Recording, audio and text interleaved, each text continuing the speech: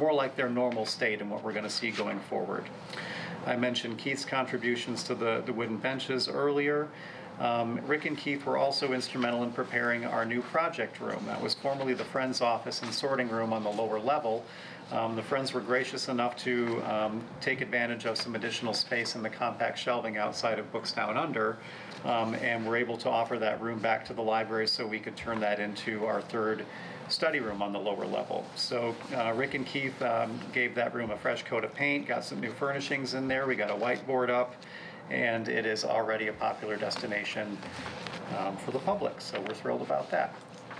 Um, I want to mention that next week is also ILA. Um, I will be attending. I'm, I'm doing a, a panel presentation, as well as uh, Jennifer Bartel, our ex- Creative Experiences Coordinator. She's doing a presentation about our book bike program.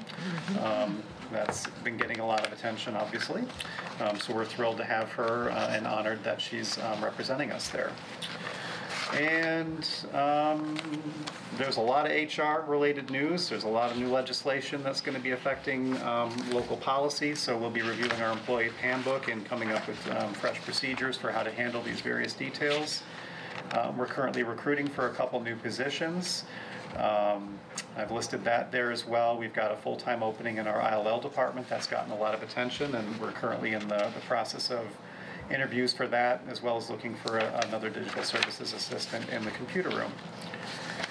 Uh, I think that's what I've got for my report, but I'm happy to take any questions about anything else that uh, may have piqued your interest. Um, I thought I read something in here, or mentioned, excuse me, um, the uh, author who came to speak about the Apollo um, Robert Kurson. person, yes, I was trying to remember his name. He was wonderful. Hmm. Were you there? I was not. Oh, yeah. He was marvelous. Yeah. There were not a lot of people there, which was kind of a shame because his presentation was incredible. He got up and he did, he did the whole thing like a story. And he, he was so into it and so engaging. It was really top notch. So that was great. Wonderful. Thank you. Any Been busy. questions or comments? Okay. Okay, we now have some of the committee reports. Trustee Johnson, do you have anything from the Advocacy and Partners Committee? Uh, yeah, Anthony can correct me when I my memory fails, but uh, we met a second time, and we. Uh, I guess our, our big news is sort of our uh, our charm offensive with the uh, the village trustees has been a big success. Uh, a bunch of us went and got to know. Uh, I think we covered all of them now. They will be covered. They have not all been Not all, covered. right. But we decided we're gonna meet each trustee one-on-one um, and develop relationships, and they've all, those that have occurred have been great, uh, very warm, and they're, those that haven't will. Um, So that's good. Uh, We decided, since we're all getting together November 6th or whatever it is, uh, for the league thing, that we just wait for that to happen before trying to schedule anything, uh, since we're gonna get together anyway. Um, and what else?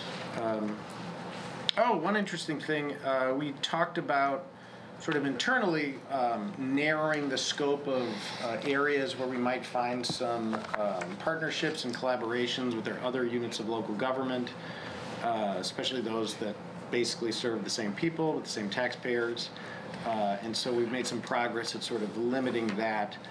Um, one you know, if you'll forgive the digression, one sort of interesting thing uh, Anthony raised an interesting point that it's on the purchase of electronic materials, digital materials, where there's real opportunities where we may we may be buying a educational service, the high school may be buying it, Oakton may be buying it, and uh, collaborating on the purchase of those, we might discover some savings and some cost measures. That kind of bumped up, interestingly, under the uh, textbook discussion at the community college level. So uh, there's increasing interest in open online textbooks to lower the cost for folks. Uh, so it's been a little interesting to see how that conversation developed.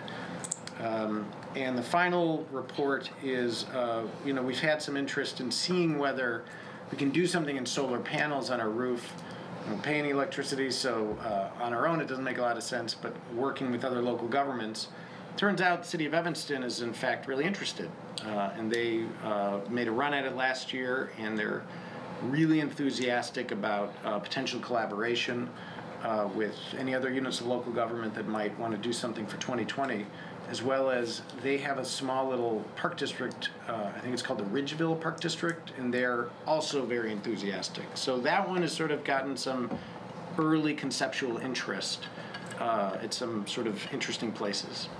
And then I think we'll intend to reconvene based on availability after November 6th. When do we meet in November as a board? The 19th. So um, either you'll get a doodle poll seeing whether we meet before the 19th, or we'll try and meet sometime in December. I don't know. Sounds good. Thank Thanks. you. Trustee Rogers? Uh, There is a doodle poll that has been conducted with respect to scheduling a finance committee meeting. Uh, It appears that Monday or Tuesday are the best dates for getting a quorum. Uh, Later in the week, we don't appear to have a quorum. Uh, So the, um, uh, the conclusion of that scheduling uh, still awaits. I'll be in um, Springfield Monday and Tuesday, but if I can, I'd be happy to call in. Okay, that'd be great. All right? It looks like we've got five that can attend on Monday, the 28th. Yes. Do we want to, do we want to establish that date today or set a I would, time? I would be inclined, eh, the, the period of time that works best for the largest number is Monday morning, nine thirty to noon. I could call in for the first part then. Okay, Yeah. So it's uh, 1028, okay, 9:30. yes. So earlier would be better for you? Yeah. Okay. Does earlier work for you all if we called it at, say, 9:30 to make sure that the doors are open and we get everybody in here? You mean up for the library? They open at nine, don't they? Yeah, just giving everybody a chance to get settled, but, uh, Just be me and Interstate 55 at that time. So Okay. happy to Favorite place. It's you know, it's my old friend. So Monday, October twenty-eighth at nine thirty? Yes. all right, we'll get a notice posted and uh, send out the information. And, and what will, what will be going on at that meeting? The contract? We have continuing discussions that were left unaddressed in our last meeting. So that will be the starting point. If there's anything additional, Anthony and I need to talk about it before we post the agenda.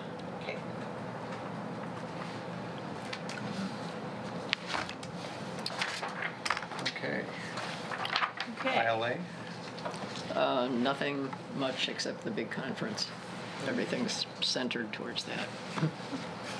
Uh, Public Policy Committee in ILA is um, looking for library advocates to bring forth um, any topics that are um, pressing related to advocacy um, in policy creation, and we're not in session at the moment, so there's, there's nothing pending, but um, that's the activity of that committee. As that goes forward through the year, I'll obviously bring forward any of that information that would affect us and share that with you all.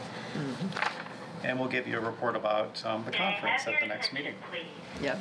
The library will be closing in 15 minutes. Please Talked about the ILA. Any new business? for checkout. Thank you. Old business? we have a motion to I will adjourn. motion to adjourn. I'll second. And we go second. salaries. Just for a second time. Four to two. Gotcha.